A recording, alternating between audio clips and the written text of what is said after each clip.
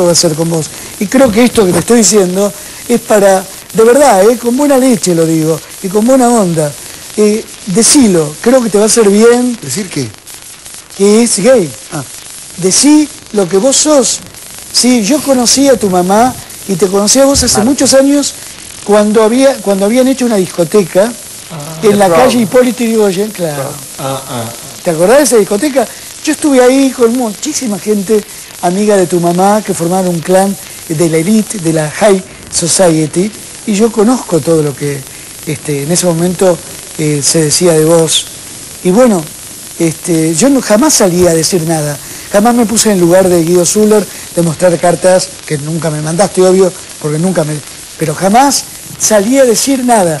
Pero vos hoy que estás representando un personaje este, macho men, con músculos implantados y un montón de cosas en la televisión, creo que es hora de que te sinceres más que con el público, con vos mismo.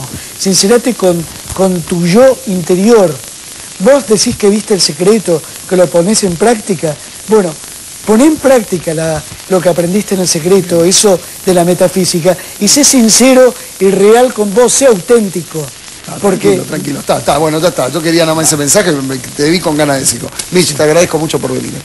No, gracias a eh, Jorge, a todos ustedes por darme la oportunidad de aclarar cosas que durante mucho tiempo quedaron medio confusas y espero que hoy a la gente te quede claro. Ojalá. Para mí es como una reivindicación ante muchos que no me creyeron y que a partir de hoy, bueno, empiecen, espero que empiecen a verme de otra manera. Vos sabés que estoy atravesando un momento muy difícil y vine hoy porque... Por eso te agradezco. No, yo te agradezco a vos. Gracias. Eh. A vos. Muy bien, pasó Miche.